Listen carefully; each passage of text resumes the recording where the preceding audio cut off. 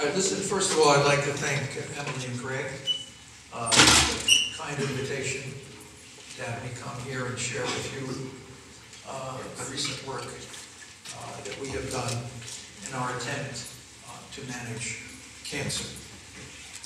So I'll be talking today about cancer as a mitochondrial metabolic disease, uh, and show you evidence that it cannot be what most people think is that it's a genetic disease, and I'll show you the evidence, uh, both um, theoretical and experimental. So, the way I like to begin my presentations on this subject is to always show you the report card, how we're doing in our attempt uh, to manage cancer.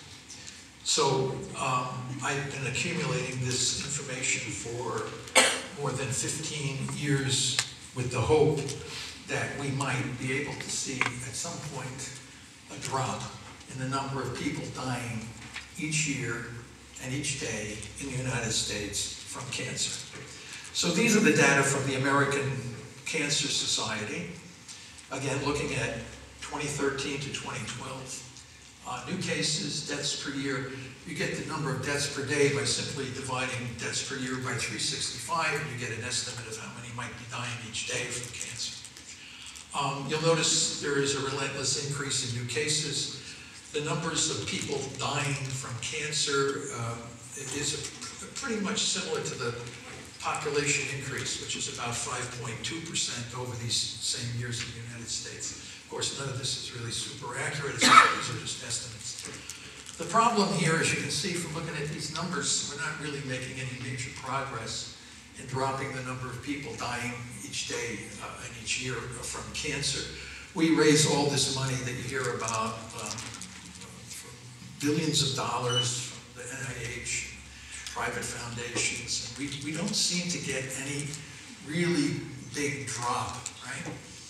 Um, I put there the pink ribbon, Susan Komen uh, Foundation. You know, you put pink ribbons, people run, bike, CrossFit, I don't know what they do. Uh, raising money to breast cancer. And the more money we raise for cancer, the more cancer we get. Um, Susan Komen uh, for breast cancer raises all this money, and breast cancer in women has now surpassed heart disease as the number one killer of American women. Thank you, Susan Komen. Okay, this is another paper that we've mentioned before, some of the, the work from this group. Uh, the, the Food and Drug Administration has approved 92 drugs from 2000 to 2016. And um, as you can see, they've had only a marginal benefit in overall survival, which is ultimately what is the key. The key to knowing whether something works is whether or not it keeps you alive longer and quality of life. And what we're seeing here, for all the millions of dollars that we have spent on cancer drugs, we only see about a 2.4 month improvement in overall survival. Okay?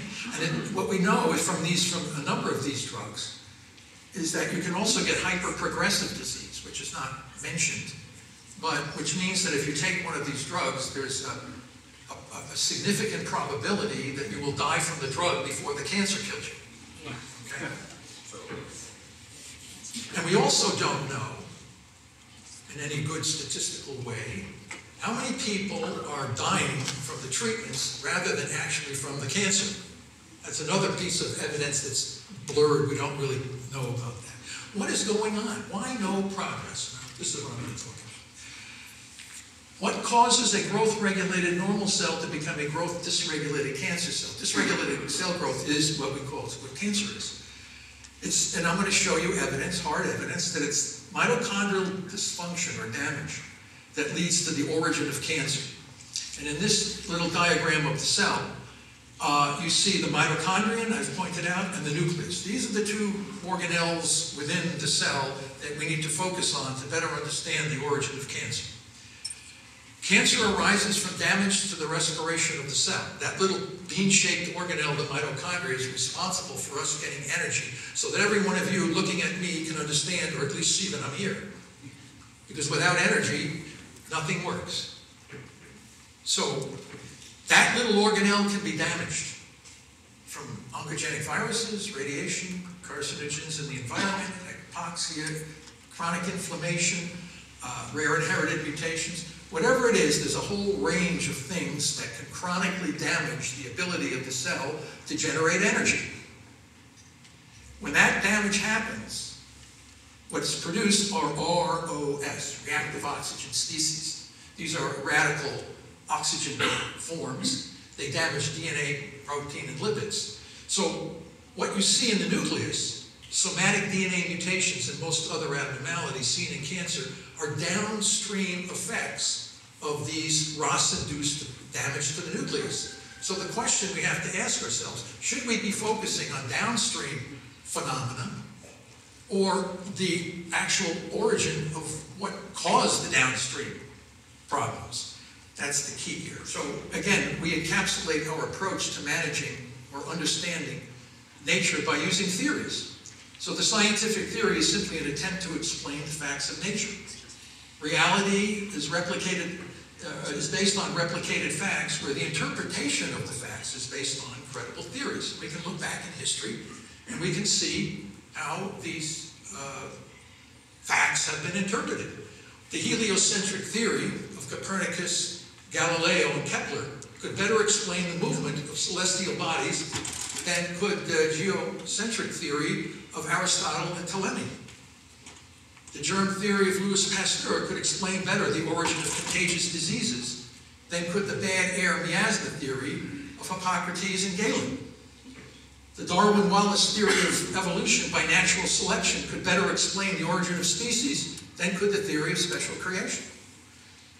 What I'd like to introduce to you today is can the mitochondrial metabolic theory explain better the origin and management of cancer than can the somatic mutation theory? We're going to now compare and contrast. I consider the last number four just as important to man's knowledge as the first three because it deals with life and death issues critically. So, what do we consider cancer today? Is a genetic disease. It's a current dogma. The dogma is, I told you, is a very powerful force on the brain. Consider political and religious dogma. We have dogma in science just as well. The gene theory of cancer is a dogma. Cancer is a genetic disease. Uh, and Weinberg's paper is the most cited in the scientific literature over 76,000 times. The hallmarks of cancer have been cited. Cancer cells carry the oncogenic and tumor suppressor mutations that define cancer as a genetic disease. No question. Irrefutable truth. It's in all the textbooks. Biochemistry, cell biology, you name it. Even from high school, through college, through medical school, cancer is a genetic disease. No other explanation. This has indoctrinated now generations of scientists and physicians. Okay, here's, and from the National Cancer Institute webpage. First thing, how cancer arises. Cancer is a genetic disease that is caused by changes in genes that control the way our cells uh, grow and divide. So again, we're solidifying the dogma. How do we do this? Somatic mutation theory. Mutations in genes that inhibit or stimulate cell division contribute to cancer. The definition of cancer is cell division out of control. That is the definition of cancer. We have two competing theories to explain this. One is the somatic mutation theory, and I will be describing the mitochondrial metabolic theory, and I'll leave it up to you folks to see what you think might be the right answer on this. So we have, a, we have mutations in tumor suppressor genes and proto-oncogenes that lead to cell division out of control. We further say that somatic mutations, accumulation of random, remember random somatic mutations cause the development of a cancer cell. So you see the normal cell on the left here, and eventually some one mutation, that whatever it is, you eventually get a malignant cell growing out of control. And here's a, here's a quote from Dr. Vogelstein of Johns Hopkins uh, University. We now know precisely what causes cancer. A sequential series of alterations in well-defined driver, driver, driver, driver, driver genes. We have a lot of passenger genes, and then we have these driver genes. Remember, this is the, so not all mutations are equally bad, but the drivers are considered the ones that cause dysregulated cell growth. And as a result of all this, we get personalized therapy. So where, where the somatic mutation theory has morphed It's morphed into personalized therapy, precision medicine. You hear these terms, precision medicine. We know you're cancer, we have just the thing for you, blah, blah, you hear it on TV and all this. So the woman is looking into the screen, looking uh, to see if these breast cancer cells have extra copies of a particular gene. Maybe uh, what they think, maybe it has some prognostic or therapeutic value, we don't know. The problem is when you take that tissue to get that information that that woman is looking at, you run the risk of inflammatory oncotaxis. When you stab a tumor or a piece of tissue, you change the microenvironment in that tumor. So what you're looking at on that screen may no longer be relevant to what's going on in the tissue that you took the information from. Besides, the information that she is looking at is largely irrelevant. I don't expect you to see this. But there's two things I want you to see. Pan cancer analysis, okay. Why I put this on here is because the conflict of interest statement is three times longer than the abstract of the paper. What is going on with that? That's all. A lot of conflict of interest. So the current dilemma is how can we advance new therapies for cancer management and prevention if the 800 pound gorilla thinks that cancer is a genetic disease? He says dogma rules. Who's controlling the dogma? National Cancer Institute and the American and pharmaceutical cancer industries. Okay, you're talking about a bigger than an 800 pound gorilla. Okay, so what happens when you challenge the dogma? I don't, I don't want to look at it. I don't want to talk about it. I don't want to hear about it. It upsets me. Makes me uncomfortable. And that's, so, so the bottom line, ignore it. That's what we do, we ignore it. Now let me run by you some evidence that I've collected over the years that challenges the somatic mutation theory of cancer. Theodore Boveri, Boveri published an article in 1914 where he outlined his speculative idea that cancer may have something to do with abnormal chromosomes. But he made it very clear. He said, I know nothing about cancer. I'm an interloper. I'm just speculating. And probably everything that I'm telling people in that essay is probably wrong. Nevertheless, he's the father of the somatic mutation theory. He knew nothing about cancer. Now we have new evidence from genomic sequencing.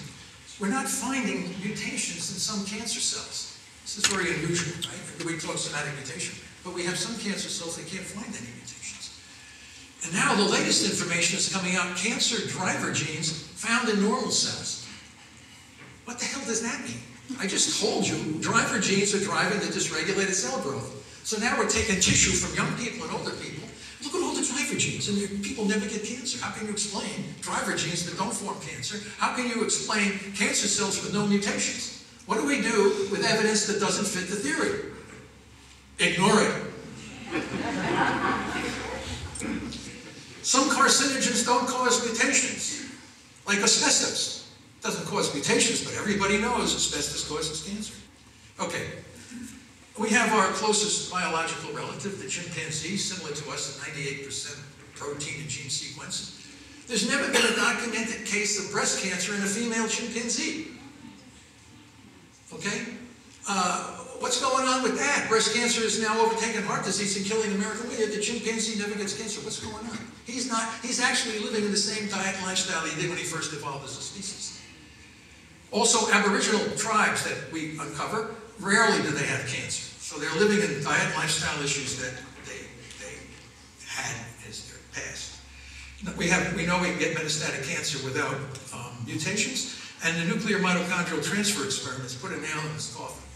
And I'll talk about that in a minute as soon as I have a chance to move this. Okay, I wrote this paper in 2015 based my chapter uh, 11 in my book, um, Cancer is a, a mitochondrial metabolic disease. All I did was go back in the literature and reevaluate the data from all of these top quality bio, developmental biologists, the best in the world developmental biologists.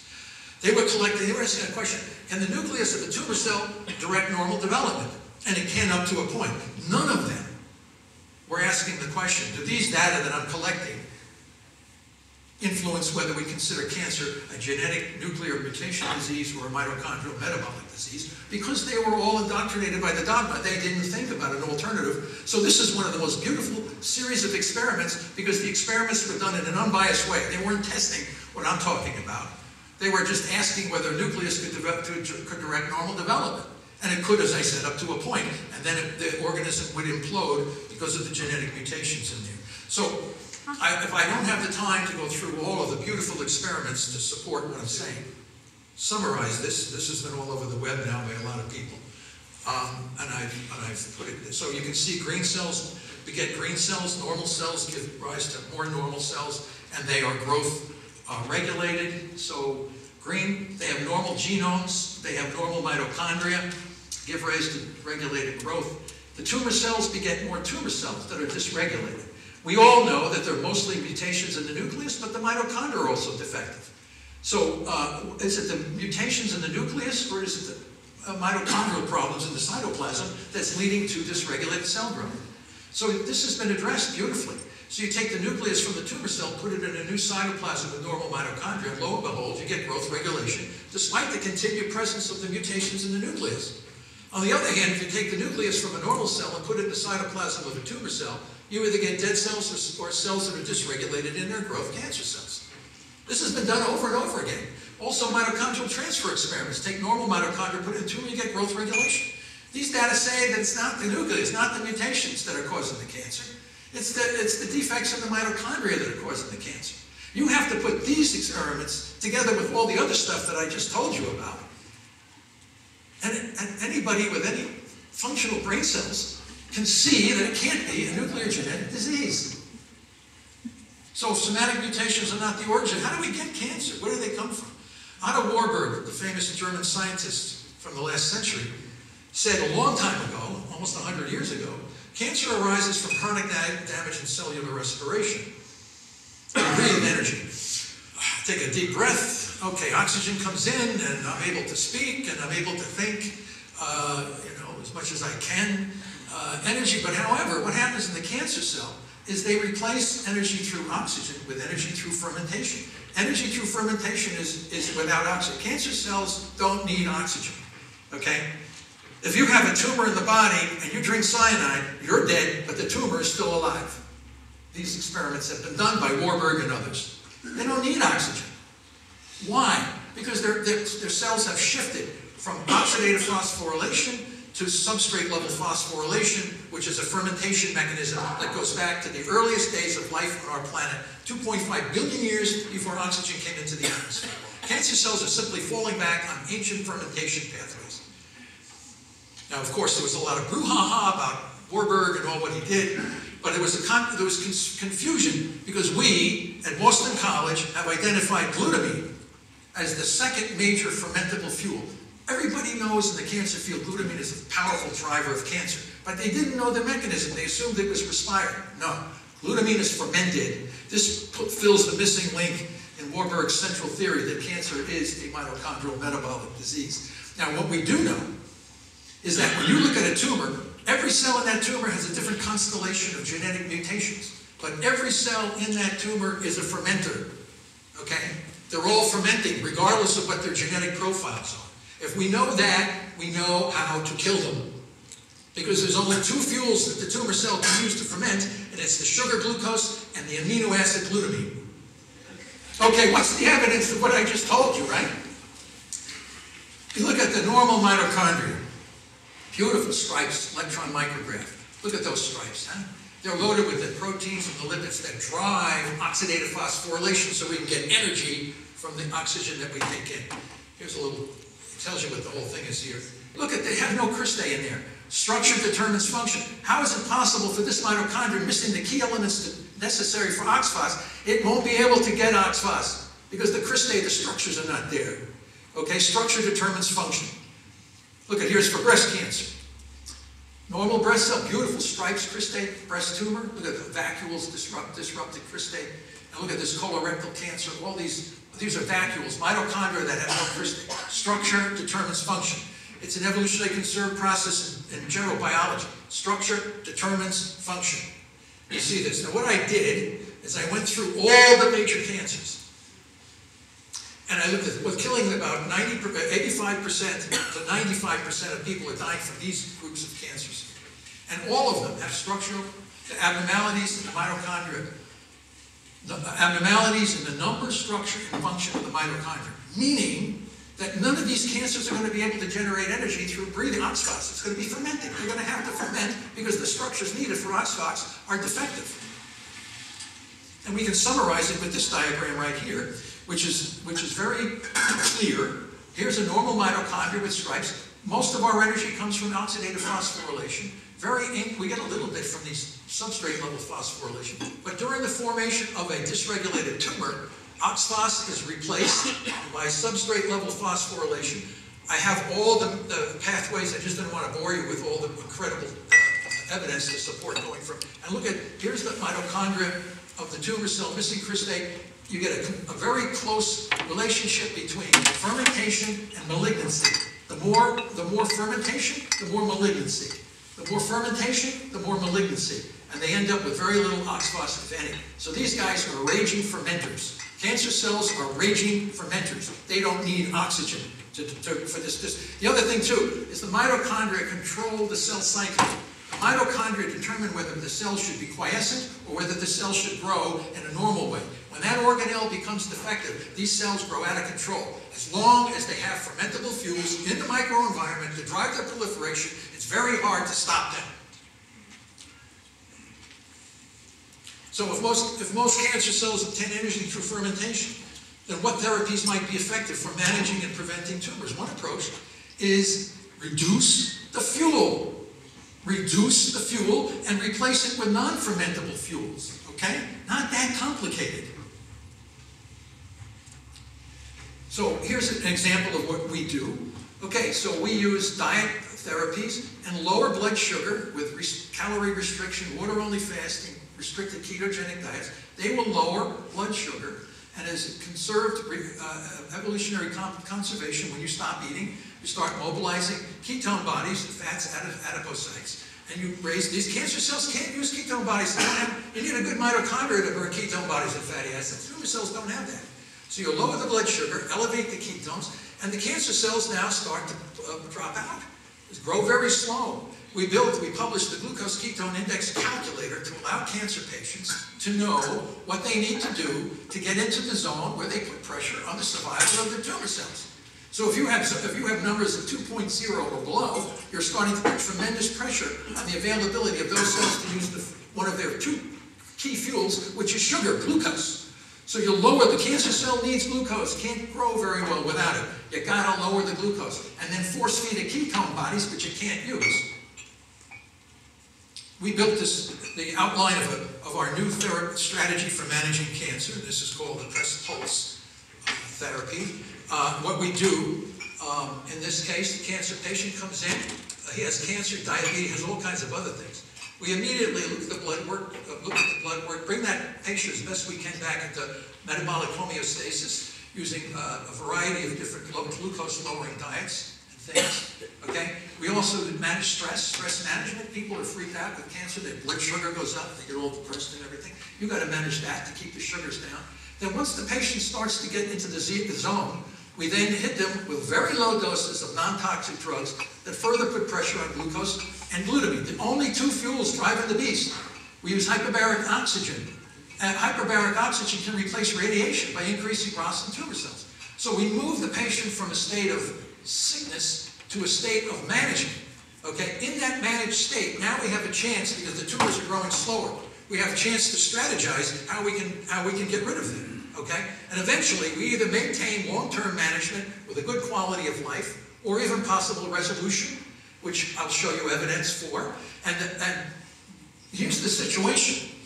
To improve this, to make it work for the majority of people, it's basically dosage, timing, and scheduling of these different combos to, to work this out for the best. This is not sexy science. NIH doesn't fund this stuff. It's not sexy but it keeps people alive. And I don't consider anything wrong with that. Now here's a, direct example of, I have this paper now under review for publication. Um, This dog was a pit bull. Uh, It was, it- it- at seven years old, it had a mast cell tumor, uh, a malignant mast cell. They have all the same kind, very similar kinds of mutations that you see in some human tumors. The dog was eating Ol' Roy dog food, developed a mast cell tumor. The pet parent said, oh, I'm gonna give the dog a vegan diet, raw vegetables.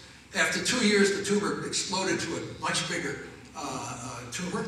Uh, Scratched her head and said, you know, where does this dog come from? Comes from the wolf. What do wolves eat? They eat meat. So um, she, she immediately transitioned the diet away from raw vegetables to uh, chicken with the bone in it, or fish oil, raw egg, cut the calories down, uh, did exactly what we've done in the mouse for a long time. And lo and behold, this big ass tumor became a spot, a little black spot. Here's his face, here's the dog, see him there, he's got the face. Here's his nose, here's where the tumor used to be. Now, this, um, what's interesting about this, uh, this dog, just in a few months, this, this thing uh, disappeared. The dog um, died at 15 years of age, longer than most pit bulls, from heart failure. The tumor never came back, okay? So I, I could go for hours on the mechanisms by which all this happened, but this is the evidence. The evidence is the dog was resolved of his aggressive tumor. And the, and the patient, the, the, uh, the owner of the dog said, I don't want my dog to get chemo and radiation, which is gonna cost ten thousand dollars and make the dog sick. The dog did not use chemo and radiation, only a, a raw meat diet. Now let's talk about humans, okay? This is the tumor that we've been focusing on, glioblastoma, very deadly human cancer. Uh, median survival, which is very important, 10 to 15 months, and I have other things in there that are not quite as important, but they, they are when you, when you have this tumor. Um, now we go to the next one here. Uh, okay, here's an example of what this horrible tumor is. You can see it all discoloration, midline shift, causes uh, intracranial pressure. Intracranial pressure is what kills most of the folks with, with glioblastoma. The tumor cells in, invade through the entire neural parenchyma. Uh, they go, they use blood vessels as a, a tract system. They go along this, these darker purple cells here, darker purple, are around blood vessels. So the tumors seed the entire cortex, so that's why you can never surgically cure GBM, because the tumors are already out there. And what they continue to do, despite all the evidence that I said not to do, they give Avastin. Avastin is supposed to block blood vessels. Tumors don't care. They move right through. They, they, in fact, the more Avastin you give, the more infiltration you get through the brain. Can you believe this? Yeah, they do that. Avastin, crazy stuff. Now, this is an interesting thing in relationship to what uh, we heard earlier from Greg and others. The irreproducibility of science, right? Science can't be reproduced? Ah, wrong, not always. There's nothing more re reproducible than how fast people die when they're treated with the standard of care.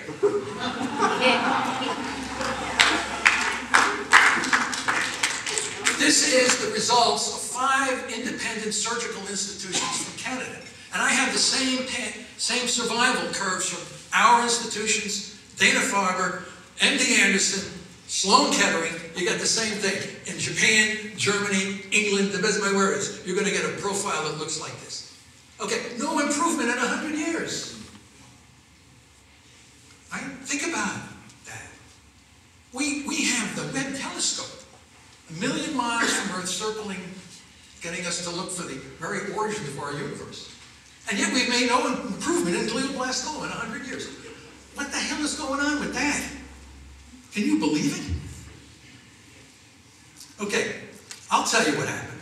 Okay, when somebody is diagnosed with glioblastoma, uh, we cut it out, and then as soon as the patient recovers from the cutting, the debulking, we then irradiate the guy's brain, which creates massive elevation of blood sugar. And because the brain swells from the radiation, we give the guy high-dose steroids, which also create hyperglycemia. And when we irradiate the brain, we break the, the very sensitive glutamine-glutamate cycle, which is a part of our neurons and glia, freeing up massive amounts of glutamine to feed the beast. And not only that, about 80% of these tumors are laced with human cytomegalovirus, which is like a turbocharger for the tumor cells to use glucose and glutamine. Okay? And this is all documented. I wrote article after article after article describing the molecular mechanisms by what's going on inside this guy's head when you treat him with standard of care. Okay, here it is again. Um, over and over again, we get the same results. What did Einstein say? Doing the same thing over and over again, expecting a different outcome, is insanity. Why does this not change? How many people have died as the result of this absurdity and continue to die? So, to test the hypothesis, if we say that glucose and glutamine are the two fuels that drive the beast, why don't we design an experiment to test the hypothesis that if we simultaneously target the two fuels, we will be able to significantly improve overall survival. So we developed the best animal models of glioblastoma. We do it the animal model first, and then we can go to the human. So we use the drug 6-deoxynorlucine, which is a glutamine targeting drug, and we give the animals a calorie-restricted ketogenic diet to lower the blood sugar. So we lower the blood sugar, bringing down glucose. We elevate ketones to protect the normal cells, so they're neuroprotective, and then we give them pulse of DON, uh, which targets the glutamine. So I'm not going to, I have beautiful biochemical hard evidence, but I'm just going to show you the final result the test hypothesis. So the blue line are the animals that ate the high carb diet with no treatment. So they die real quick. You can see how fast they go. Okay, the ketogenic diet by itself did include a, a, a modest level of improvement, but you're not targeting the glutamine with the ketogenic diet. The drug, DON, had also some level of improvement, but you're not targeting the glucose with the DON. When you add the diet with the drug, you get really good survival. And we're pushing this way out now, way out. And we're going to test it in humans, and we're starting to see very similar kinds of responses, even more spectacular than the mice. Humans are much better to use these metabolic therapies than the mouse. The mouse's basal metabolic rate is seven times faster than that of the human. Okay, they eat 20% of their food a day. Can you believe body weight? 20% of their body weight in food a day. You know, we have so much more flexibility to make this work in humans than in the mouse. So our first attempt was this guy from Egypt, a guy with a glioblastoma, corn farmer. He comes in, my, my good uh, colleague, I work with uh, uh, Elsakka, Dr. Elsakka. So he calls me up, he said, we got a patient, let's do this press pulse. I said, fine. So let, us uh, we, we, we, gave him some fasting and keto. He had an awake craniotomy to debulk the tumor. We, we kept him on for another three weeks, uh, restricted diets. You know, we weren't really hitting glutamine too hard, but he was doing good. We kept pushing off the radiation. So he says, Osaka calls me up and he says, we got to irradiate him now. I said, why? He said, oh, we have to do it. Standard care says you must irradiate everybody. I don't give a damn, is it in the United States, Egypt, wherever we got to irradiate every cancer patient, brain cancer. So he took all the radiation and the temazole. He did pretty good. Went back out, started working in the field. We published the paper, all excited. Osaka calls me up and he says he's got headaches now at, at, at 29 months uh, following diagnosis, and he dies at 30 months. So they did a, an autopsy on his brain, and what they found, he died from radionecrosis brain liquefaction. So provocative question, should the ketogenic metabolic therapy uh, uh, replace the standard of care. In my opinion, we're not going to move the needle on these GBM patients until we abandon the radiation to the brain. Why is that so hard to understand? So we use examples. Brittany, okay, a beautiful young lady here, diagnosed with low-grade, low-grade tumor in early January of 2014. Within two weeks, it exploded into a glioblastoma inflammatory oncotaxis. So here's her with her husband. Um, she starts the standard of care. I want you to look carefully. Here she is here before the treatment. Here she is after or, or while she's being treated. See the puffy face? That's called moon face from elevated levels of steroids. You give the steroids, you get a consequence of moon face indicates that her blood sugars are very, very high. Well, she knows the outcome. She decides to take her own life. Death with Dignity, big article in People magazine. I'm going to kill myself rather than go through the standard of care. Okay? That's pretty bad when your patients would kill themselves rather than take your treatment. But that's what happened. Now, this little guy is Danny Sheen. Uh, Danny was diagnosed with pineal, which is a childhood glioblastoma, in 2017. And Danny passed away in 2021. But look at Danny's face. You see how puffy it is? Here he is with his uh, favorite toy. He died a week after this picture. Um, this is a tragedy. This should not happen. We, we are working now uh, with support from the British Childhood Cancer Fund to, uh, we have a, a diet drug therapy that will allow these kids to live a far longer high quality of life. We collected the data now. And it's going to be a crime if they don't use that. And here's Pablo Kelly uh, from Devon, England. He was diagnosed the same time as Brittany. Uh, he wanted no radiation, no, che- no chemo. They, oh, you're going to be dead, Pablo, in nine months. He has a story. You could read it in all these British newspapers and things. He doesn't want any of that. He's, I'm going to take my risk. So he goes on metabolic therapy, and um, three years, he's still alive in three years, but his tumor is there. It's not gone. It's still growing, but it's very much more indolent than it was. So he gets it to bulk in 2017. Uh, he thought he was out of it. He goes back eating a few more carbs. Uh, all of a sudden, we see the images on the MRI go up. Oh, Pablo. Boom, he goes right back. I have five years of daily glucose ketone monitoring from Pablo. It's published in the paper. You can read it in this paper. You see all the data that we have. And back down comes the tumor managed. So he's had another debulking. But in the time from diagnosis, he's over eight, eight and a half years out now. He's had got married and he's had two kids, and he's still getting on with his life. We didn't cure Pablo, but Pablo is living a hell of a lot longer than he would have if he did standard of care. I don't know if there's any, what's wrong with that? You're giving him all kinds of grief.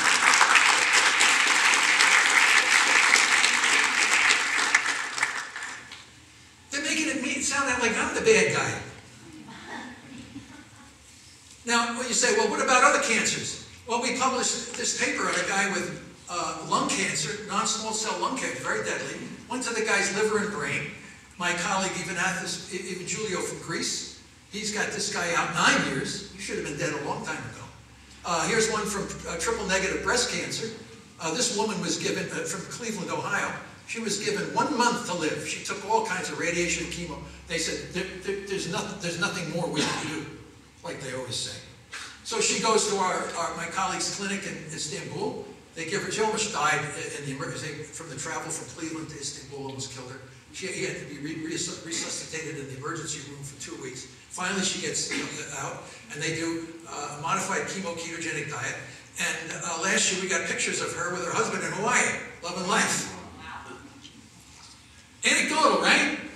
It's a fluke. It's a fluke. It's a fluke. N of one, right? N of one. You put parachute on a guy. 100 guys jump out without the parachute. One guy has the parachute. N of one. Got to do double blind crossover to make sure it's real. And then I wrote this thing on prostate cancer. So uh, that why are we using chemical castration and all this crazy shit? I mean, you can you can get really good uh, uh, evidence with uh, metabolic therapy. This is in nature, right? Everybody likes to ignore everything.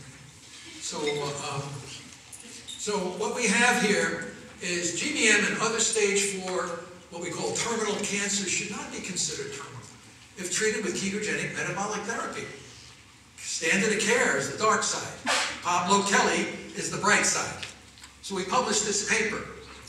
Can the mitochondrial metabolic theory of cancer explain better the origin and management than can the somatic mutation theory? So I, I, I kind of was very provocative in, in showing that the geocentric theory that uh, was people struggled with for a long time, and look at all the uh, all the crazy elliptical things that they try to put together when the Earth was the center of the uh, of the solar system. When you put the sun in the center, everything makes sense, right? So you put the mitochondria in the center of the cancer problem, and everything's going to make sense.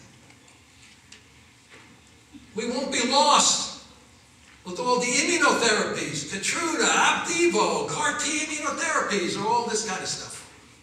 I don't know anybody who's died from ketogenic metabolic therapy. Most cancers, including glioblastoma, is a mitochondrial metabolic disease. Cancer is not a genetic disease. Get over it. It's a reliance on substrate level phosphorylation, and I have all, if you read my papers, I have all the hard evidence to support that. The simultaneous restriction of glucose and glutamine while under nutritional ketosis can help manage most, if not all, cancers. The press pulse metabolic therapy is a non-toxic, cost-effective strategy for the possible management of most cancers, especially glioblastoma and some of these, these other cancers that are really bad. And we're starting a global society for metabolic therapy. I've got folks, really good physicians and scientists in numbers of countries that all want to get on board and say, how do I do this? What am I going to do? There's also a documentary film coming out from the stuff that we developed at BC showing how many people are surviving. It's not just a few flukes that I've shown you. Uh, Maggie and Brad Jones are collecting dozens and dozens of people that should have been dead and they're alive and they're appreciative of their life. And then, well, how do we get money to do what I do? Well, I get it mostly from foundations and philanthropy. Okay? Travis Foundation of Metabolic Cancer Therapies, George Yu, Joe Maroon, Edward Miller, uh, the Kenneth Rainin Foundation, Greg, Greg was so kind the, with the CrossFit organization, Children with Cancer United Kingdom, the Corkin Family Foundation, Bob Kaplan, my own university, uh, the Oral Academy, and thank you very much for your attention.